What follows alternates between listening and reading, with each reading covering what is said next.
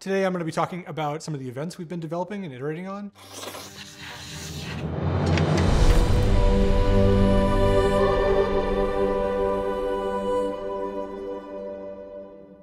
Hey everyone, this is Steven, here with another Making of the Bazaar. So today we're going to be talking about events, some of the ones we've been working on, and specifically ones that started their lives as community suggestions. We've got three of them that we've been working on, and they're actually all going really well. So I'm just going to run you through sort of where they started, some of the different versions of them we've tried, and where they are now.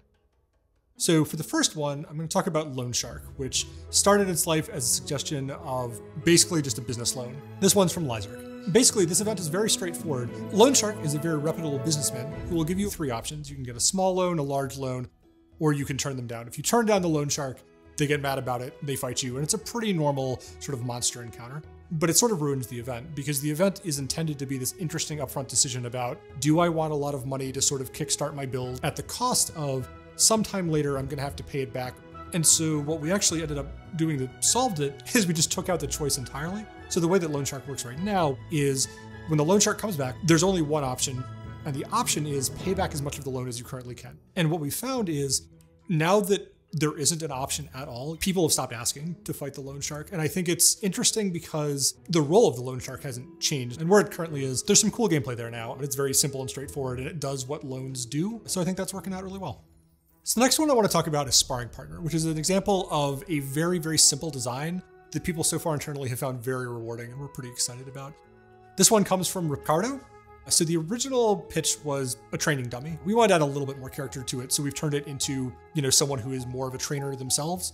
Sparring Partner is a very straightforward enemy, but unlike most monsters, it will not die.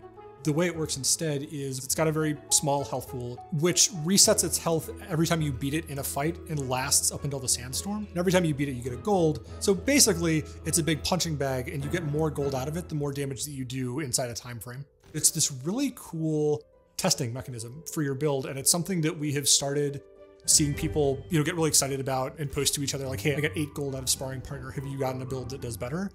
It's an interesting mechanism because the way that it tests your damage isn't too different than the way it's tested in PvP, except PvP has to deal with these other factors where your opponent is dazing you or your opponent is freezing you. And this is sort of a pure litmus test of how much damage can you deal in a certain period of time. And it's it's very satisfying, so we're very happy with that. The third one I want to talk about is Hattie, the street magician. This one's from Banshee. So we got a very cool suggestion for a chance to put some money into the world and maybe get rewards later as sort of a, a karma event. Hattie the Street Magician is an opportunity to sort of tip a street performer, and if you do that, they'll keep coming back, which gives you small bonuses. And if you tip them enough, eventually they earn enough that they can retire and they can give you an extra big prize at the end before they head off. If you just watch the show, it's a big heal in the middle of the day, which will let you take on more monsters, and then the event is over. You won't see the Street Magician again. If you give them one gold, if you tip them lightly, you get the same benefits that you got for just watching the show. But because you tipped him, he knows that this is a nice neighborhood to perform in, and so he'll be back the next day. The large advantage has both the first two, and also you'll get some big stat buff permanently.